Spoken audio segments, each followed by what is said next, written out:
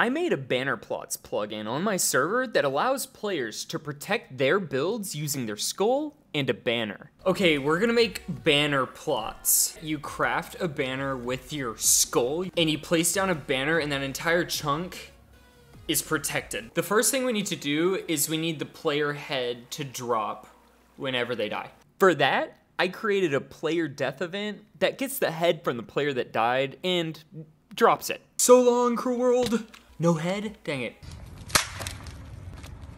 Oh, I didn't reload. I, uh, I gotta spin the wheel now. Let's do it. Spin the wheel. Please be like something stupid that I can like bust out real quick. Dude, I hate, I hate the clothespin with passion.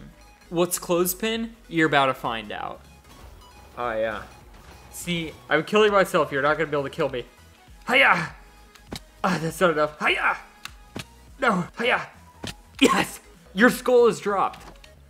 Did I get one? Oh my gosh, we can't even tell because the creeper blew up. He blew up the head that I was debugging with. No. He's chasing me now. Hang on, hang on, hang on. Oh, he's got it. The process isn't fair. Ah! Oh, oh. Oh, I'm dead. There's a skeleton. Kill me, skeleton. So Rat King. Yes! the skeleton killed me. Did it drop? That worked. Oh. Oh, crap. Oh my gosh.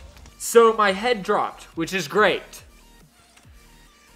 Holy smoke. We need to create a custom recipe that allows you to craft a banner with a head. Making a custom recipe with dynamic NBT data turned out to be near impossible in 1.20. But as I'm editing this video, they've actually made this possible in 1.21. Thank you, Mojang. So instead, the player will right click with their head onto a banner to claim the land. Okay, when I click on the banner, it should add a blue border now. Okay, let's try it. Oh! okay. Look! But I didn't want every player to have the same banner pattern. I wanted it to be unique, like a fingerprint. So I coded a random pattern generator based on the skull's unique ID. Here we go. Look, that's random. Does it happen every time that way? It does. Okay, so this is mine. That's your unique banner. Yeah, well, they're all a little bit ugly. Okay, SethBling. Ooh, I like Ethos Lab. This is Ethos. This is SethBling's. Mumbos, Grians, Notch, Xisumavoid. Oh wait, that's Dinnerbone, that's Notch, hang on. Dinnerbone, Xisumavoid, Notch, Rat King, he doesn't like his, and mine. Now that players had a way to claim land, I needed to add the protection. For that, I used WorldGuard to protect the chunk that the banner was placed in and save the information to the world's file. Only if claiming the chunk is successful are we going to update the pattern with the design. Ha ha ha! Winner!